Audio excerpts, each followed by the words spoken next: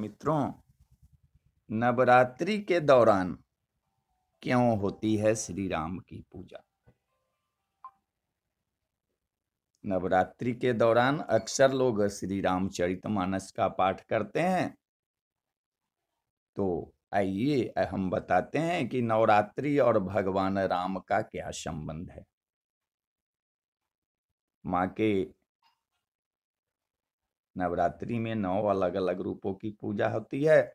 नवरात्रि में पहले दिन शैलपुत्री का पूजन होता है। इसके बाद ब्रह्मचारिणी चंद्र घंटा कुष्मांडा स्कंद माता कात्यायनी, कालरात्रि, महागौरी और सिद्धिदात्री को पूजा जाता है।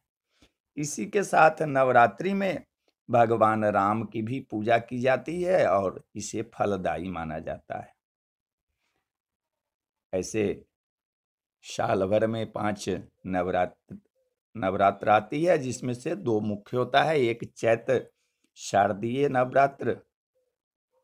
एक चैत में होता है, एक और शारदीय नवरात्र जो अभी शुरू हो रहा है, इसमें श्री राम का स्मरण किया जाता है।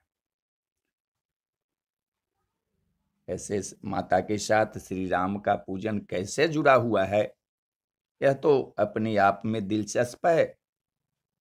कि राम ने भी और माता ने भी, दोनों ने असुरों का विनाश किया था।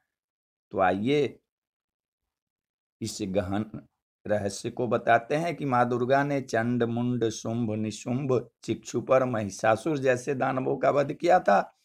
वही दूसरी ओर भगवान राम ने रावण का वध किया था।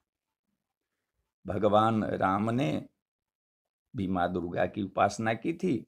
वही श्री राम और माँ दुर्गा दोनों ने अन्याय के खिलाफ आवाज़ उठाई थी पुराणों के मुताबिक। भगवान राम ने भी माँ दुर्गा की उपासना करके शक्ति प्राप्त की थी। राम का अर्थ राम होता है। रमंती योगी ने यस्मिन स राम अर्थात योगी योगीगण अपने ध्यान में जिन्हें देखते हैं, वे है राम। राम का तंत्र में अर्थ है कल्याणकारी अग्नि और आकाश। दुर्गा पूजा के साथ साथ राम कथा जबकि माँ दुर्गा शक्ति शांति की मानक है। इसलिए नवरात्रों में रामचरितमानस का विधान है और जातक दुर्गा पूजा के साथ साथ राम कथा का भी पाठ करते हैं।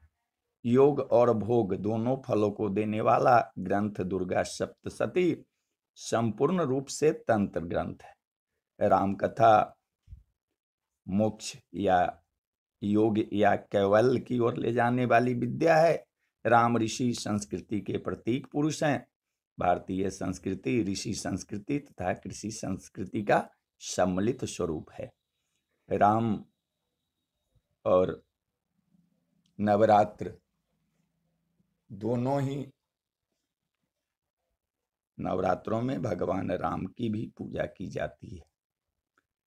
चैत्र नवरात्र में जहाँ पर प्रभु श्री राम का जन्म दिवस मनाते हैं और वही शारदीय नवरात्रि में दशहरा मनाने का प्रावधान है। रावण पर विजय के कारण इसे विजयादशमी भी कहते हैं। ऐसे नवरात्र में हमें अखंड ज्योति ज़रूर जलाना चाहिए। नवरात्रि में नौ दिनों तक देवी माता का विशेष श्रृंगार करना चाहिए। चोला फूलों की माला, हार और नए कपड़ों से माता जी का श्रृंगार किया जाता है। वही नवरात्र में देसी गाय के घी से अखंड ज्योति जलाना माँ भगवती को बहुत प्रसन्न करने वाला कार्य होता है। लेकिन अगर गाय का घी नहीं है तो अन्य घी से माता की अखंड ज्योति पूजा स्थान पर ज़रूर जलाना चाहिए। तो बोलिए, जय सिया राम, जय सिया राम।